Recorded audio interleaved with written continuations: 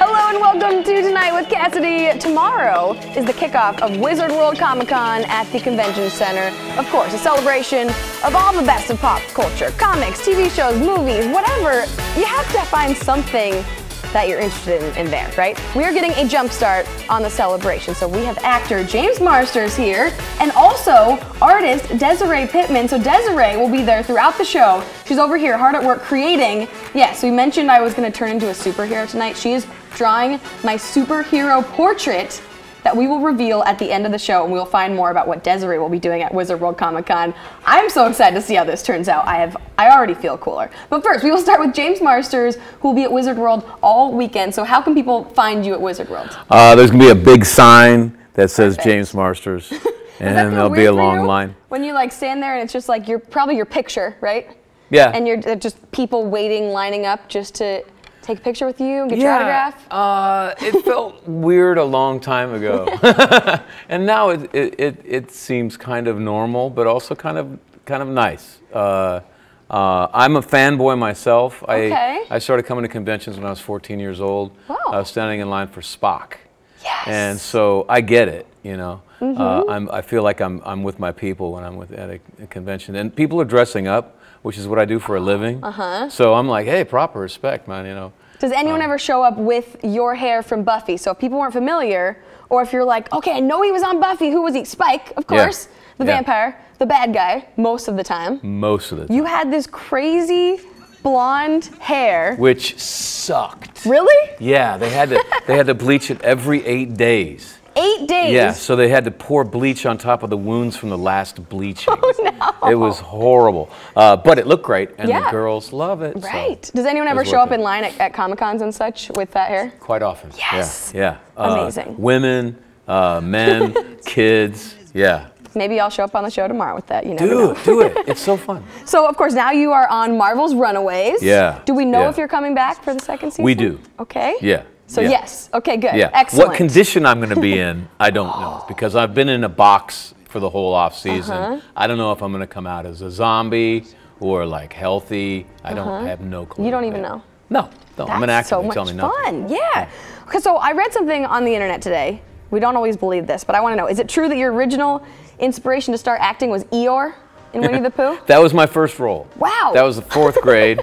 Yeah, and I think I got the pathos of Eeyore down. Yeah. I think there was a bottom to the character. So is that why you now play a lot of villains? Because Eeyore, he's not the villain, but he's not he's not the happy character. Eeyore is definitely the villain. He's Right, like yeah, he's plotting evil. against Pooh behind his back. No, uh, I uh, I was in. I started doing television up in Seattle. Actually, uh, I lived up there, and I That's was. where I'm from. Yeah. Yes. Nice, Seattle yeah, High rock on. Um, uh, and I, I uh, did a uh, for Northern Exposure. I did a role of a, of a guy that was really kind of like um, not confident at all. Uh, he was a he was a pre, he was a Methodist preacher whose dad was like a great preacher, and he followed his dad, but he's not. He's very shy, so he's really horrible at his job. It was a very funny role, but that's what I had coming in uh, down to town. So I was doing nerds. Oh. And then Joss picked me up, and I they had three days before they were shooting uh, Spike, and I could do the accent, so they threw me in there, uh, and then I got known for doing villains. So it's it's whatever you get known for, man. Yeah, and it Yeah. works. You, it, clearly, you're good at it. okay, so we have a couple of questions. Speaking of Mm-hmm. the internet, from people on the internet, let's go to the second one, uh, which I think is how do you stay so buff? You know, playing off of Buffy, but clearly they are admiring your muscles. I guess uh, let's see, uh, long list. Um, that's yeah, Chris Ellis asking that one. Don't Thank eat sugar. Okay. Sugar is Oh. the devil. Oh, you don't want to Uh, watch later in our show then. Don't no. Don't eat. Uh, I don't eat between 10 o'clock at night and 2 o'clock in the afternoon. Oh, I'm already Uh, on and then you strike have some two. food. So a lot, lot of not chewing involved. Uh, and Sounds then- like a great time. Yeah. uh, The life no of a carbs. villain. No carbs, just protein and vegetables, and then and then work out. You know, just just uh, Mm-hmm. you don't have to kill yourself, but you have to do it consistently. Yeah. Okay, and then the next question, final one, is as a vampire, would you rather die by being staked or exposed to sunlight? Oh God, staked in a in a heartbeat. Really? Yeah, because when it's sunlight, it's like a slow burn. Yeah. I've actually experienced both. Oh no. And when you get staked, it's quick and you're out. But when it, when but, it, but when you're burned, then you have smoke flying all over the place and it, and you're coughing. And then I mm. say, cut, stop coughing, James. It's like worse than not eating sugar. So before we run out of time, we have a few seconds left. We have Yeah. four things on this table that you can use if you were to kill a vampire. We have Okay. this television light. We have a stapler. We have.